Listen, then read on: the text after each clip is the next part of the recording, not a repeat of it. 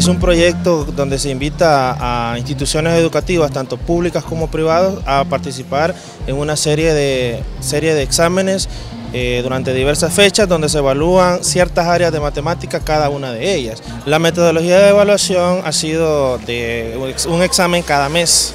En el mes eh, se evalúan ciertas áreas y durante los fines de semana se ha dado una serie de tutorías. Es muy bonito el programa y la oportunidad que la universidad ha dado a cada una de las instituciones. Ha tomado en cuenta tanto las instituciones privadas como públicas y eso es algo que en lo personal me agrada mucho. Los contenidos o la temática también es muy interesante porque algunos contenidos son muy básicos para ellos, pero hay otros que requieren de una preparación adicional tanto el acompañamiento que nosotros les tenemos que dar a ellos o el esfuerzo autodidacta que ellos tienen que realizar. Es algo que me llamó mucho la atención de la de cómo llevan la dinámica es que hay una prueba individual y hay una prueba grupal.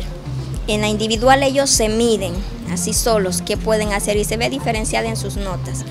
Pero la que más me llama la atención es la grupal, porque pueden exponer sus ideas y llegan a un solo consenso. Esto permite que el estudiantado se dé a conocer su aprendizaje que está adquiriendo en su centro de estudio y también permite que desarrolle ciertas habilidades que antes no lo había desarrollado, pues, libre. Yo sí le he dicho, disfruten este tipo de, experiencia, pues. Y, en ese aspecto agradezco a la Universidad Gerardo Barrios. Nosotros venimos de, la ciudad de Chilanga, este tipo de eventos no, no llegaba hasta allá, pues no, no, nos dábamos cuenta.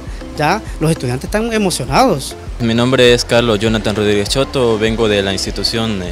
Eh, el Instituto Nacional Rosa Olvenina Cañas de Flores de Chilanga. Bueno, aprender, eh, ponerme a prueba con cosas que realmente, ejercicios que intimidan a simple vista, pero que ver que somos capaces de hacerlos, eso me ayuda bastante. También me ha ayudado con, con la PAES, puesto que ya me siento más capaz para la PAES, que ya la tengo bastante pronto. Entonces, bueno, yo agradezco sinceramente esta iniciativa de la Gerardo Barrios. Compañeros que, con los que no me he llevado también, ¿verdad? No éramos enemigos ni nada, pero o sea, nos hemos conocido, nos hemos entendido mejor y bueno, he aprendido a trabajar en equipo. He podido profundizarme más en lo que es mi pasión porque los números a mí me encantan mucho desde que estaba pequeña.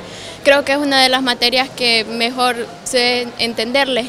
Este, todos los temas me han ayudado a comprender, aprender a analizar mejor porque casi siempre soy el tipo de persona de que se memoriza todo pero no es muy bueno analizando.